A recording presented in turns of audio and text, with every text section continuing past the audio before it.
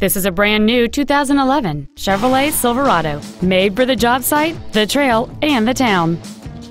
It features a 5.3-liter, eight-cylinder engine, a six-speed automatic transmission, and four-wheel drive.